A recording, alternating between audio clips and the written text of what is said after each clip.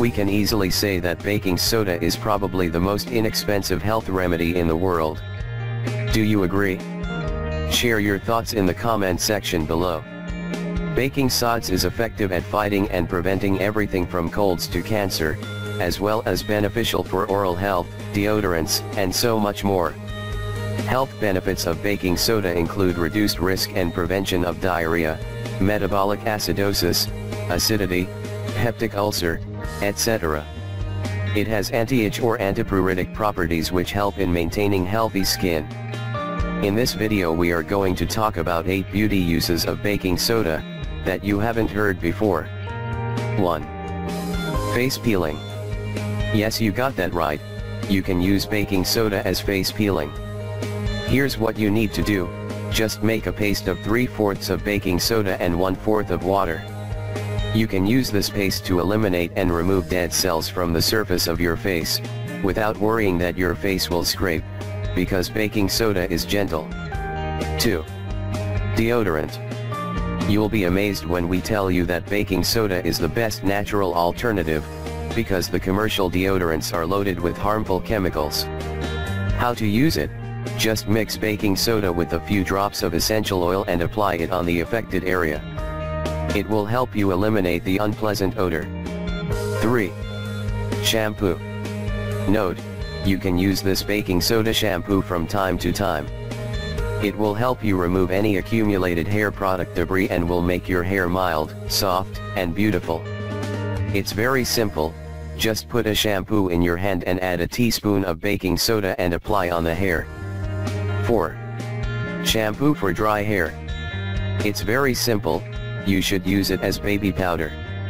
Just apply a bit on the hair roots, leave it on for 5 minutes in order to absorb the particles that make it look oily, and then give your scalp a good massage. Next step is to comb your hair. That's it and get ready to be amazed by the results. 5. Toothpaste. How to make the best homemade toothpaste, just mix baking soda with 3% hydrogen in ratio, so that you get a thick paste. This mixture will whiten your teeth, and baking soda itself has similar properties. Note, don't use this mixture too often because it can damage your enamel. 6. Body peeling. You can also use baking soda as body peeling as well. Here's what you need to do, just take one empty bottle or pack of body care product. Fill the bottle or the pack halfway with baking soda and add 25 drops of essential oil, then add water to fill the container. 7. Pedicure. How to make your own pedicure relaxing treatment, just put your feet in a hot water and add 2 to 3 teaspoons of baking soda. Note, you can add some essential oil, because it has relaxing properties. You should soak your feet for 15 to 20 minutes. 8. Coating for soothing burns. Here's what you need to do, just mix 2 teaspoons of baking soda in 1 liter water. That's it. How to use it, just soak clean soft cloth and apply it on the critical area. Replace the cloth after becomes dry and warm. Thank you for watching and don't forget to share.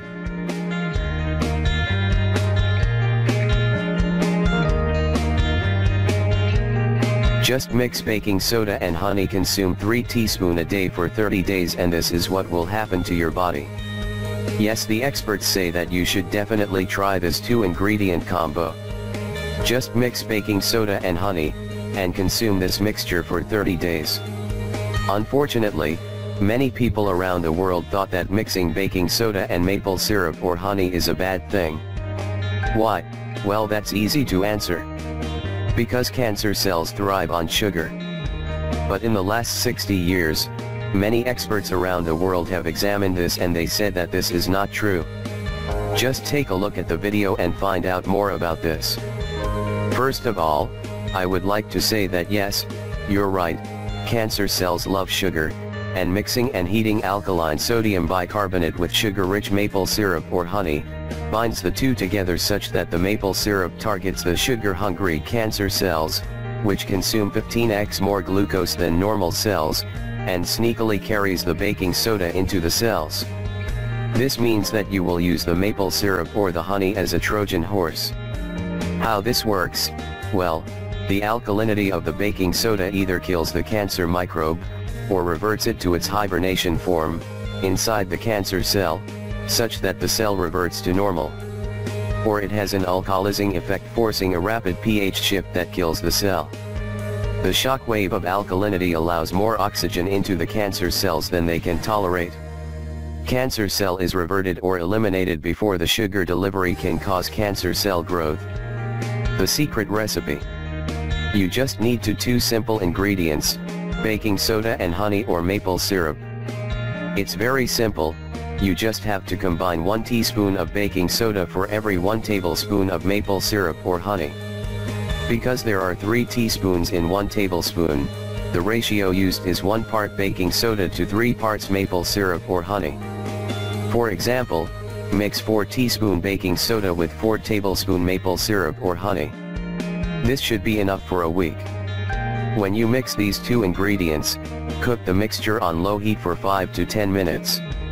And make sure you don't put this mixture in your refrigerator. How to use it?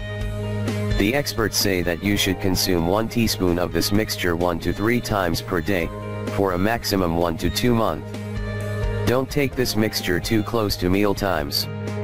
During this therapy you need to change your diet. You need to decrease the meat intake, and no sugar or white flour. We really hope you find this video helpful and don't forget to share it with your friends and family. Thank you and take care.